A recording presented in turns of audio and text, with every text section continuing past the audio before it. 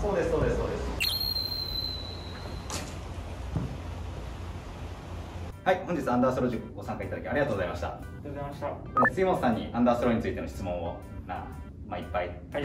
させていただこうかなと思います、じゃあまず最初に杉本さんがアンダースローになろうと思ったきっかけっていうのを教えていただければと思います。はい、2年前ぐらいに始めたんですけど、そこでやっぱピッチャーが少ないはい。っていうところでやろうかなって思ってあとは人と違うことしたいっていうので、はいはいとりあえずは、まあ、投げ方も上投げ綺麗じゃないので、アンダースローでやってみようかなっていうのがきっかけですね、なるほど。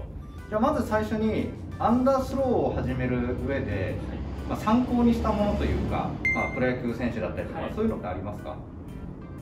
そうですね。一番最初はソフトバンクの高橋礼はい投手が、まあ、ソフトバンクが好きっていうのもあったんで YouTube でスロー再生して、はいはいはい。コマ送りにしてとはかをしたりとか、あとはもう本当にドリームドアさんだったりっていうとこあーはい。ろはあの参考にさせてもらって始めた感じですね、なんで動画がメインで。動画がメインで、まあ、でも動画メインで、まあ、見ながら自分でやってみてっていうことだと思うんですけど、なかなか最初からうまくいくことってないじゃないですか。そうですね。どういうところで苦労しました特に？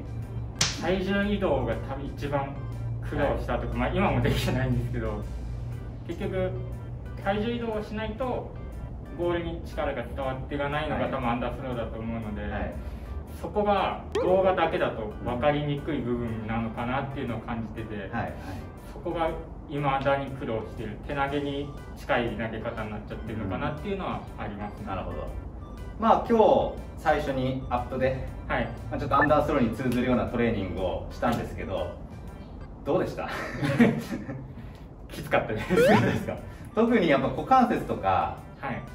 まあ、あの棒を持って担いでるやつとかあったじゃないですか、あれを、まあ、やっぱり低くし続けるっていうのもきついじゃないですか筋肉的に、はいでその低い姿勢の中で体重移動するっていうのはやっぱり股関節が柔らかくスムーズにはい。動かないとできないのでやっぱりアンダースローの中でもやっぱ低さって憧れるじゃないですか。そうですね。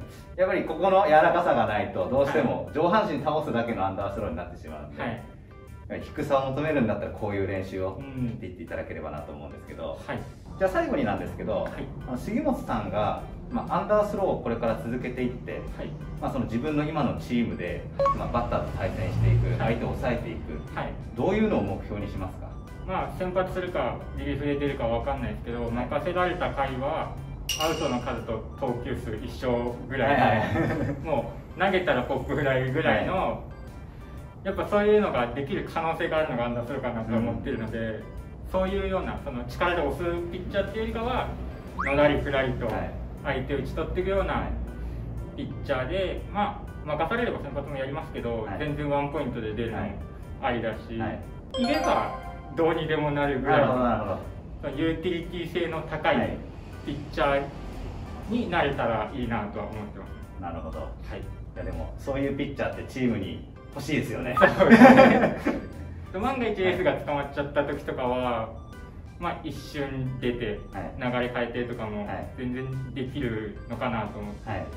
で多分やっぱりアンダースローってまだ人が少ないのでそこがまだ武器になるというか強みだと思ってるのでそういうところを活かせるところまで自分のアンダースローを持っていけたらいいなとは思ってます。なるほど、はい。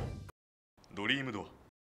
すいません本日あのアンダースロー塾お越しいただきはい。ありがとうございます、いやありがとうございます。あの本当にいつでもアンダースローはやってるので、はい。特に夏休み中なんかは、はい。えっと、休みも取りやすい人が多いと思うんで、ぜひともまた空いてる時間にでも連絡いただければと思います、本日どうもありがとうございました。ありがとうございました。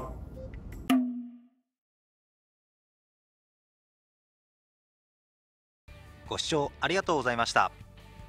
ドリームドアの室内練習場は JR 金町駅南口から歩いて10分のところにあります下町風情ある街並みを抜けていくと左側に緑色の看板が見えてきます。はいこちらがドリームドアの室内練習場です。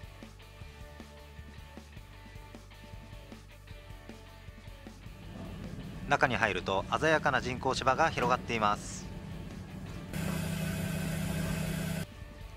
設備も最高です。